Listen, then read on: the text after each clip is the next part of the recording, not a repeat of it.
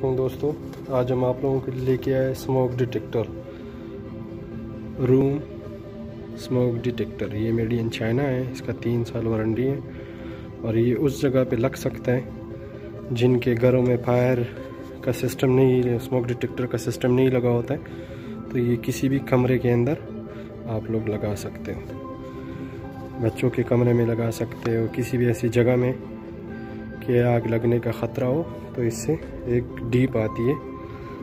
ये आपको इन्फॉर्म करेगा कि जब वहाँ कोई स्मोकिंग आएगी तो हुआ हुआ आएगा तो इन्फॉर्म करेगा कि क्या मसला होगा। इसको अंदर से देखते हैं, इसमें अंदर क्या है। इसको खोल के चेक करते हैं।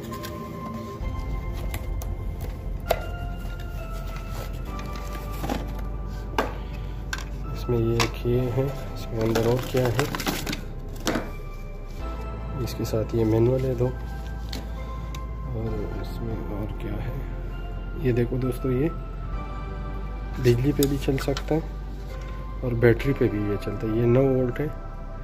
ये 220 110 और 9 वोल्ट है। बैटरी में भी चलता है। इन इन और लाइन इसमें लगा सकते हैं। और इसमें कोई और चीज़ का ज़रूरत नहीं है। अब बिजली अगर ना भी लगाओ तो डायरेक्ट ये बैटरी पे भी चलता है। ये है इसकी और ये यहाँ से इसका एक्टिव का है।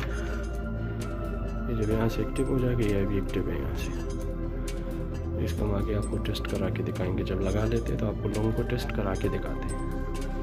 ये इंतहाई सस्ती चीज़ है और कहीं भी लगा सकते हैं सेफ्टी के लिए। ये देखिए का बहुत आसान है। ये इसका बेस है। पहले ये बेस इसका लगेगा ऊपर और फिर इसके बाद इसमें ये लगेगा।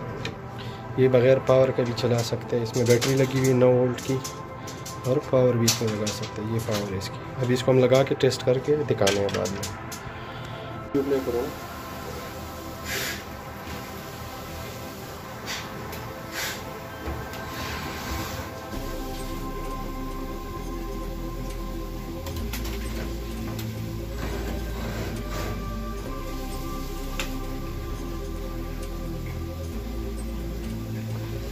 ये बिल्कुल इजी लग सकते हैं ये दे दो? बस। दो।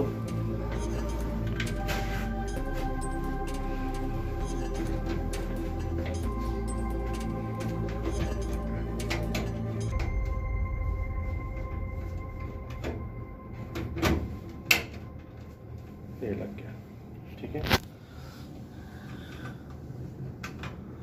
यहाँ से अभी एक्टिव हो गया।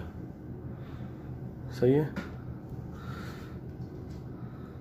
ये हमने लगाया बाथरूम के अंदर, क्योंकि बच्चे यहाँ सिगरेट पीते हैं तो इस वजह से। ये भी एक्टिव है, ये लेट ब्लिंकिंग कर रहा है।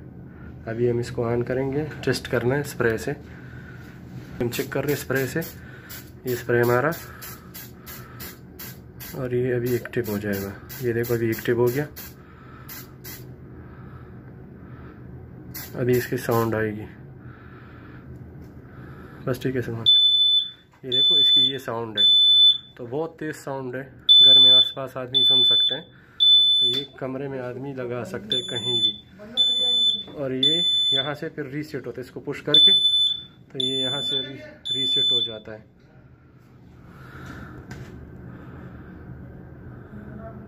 कर रहे ये देखो।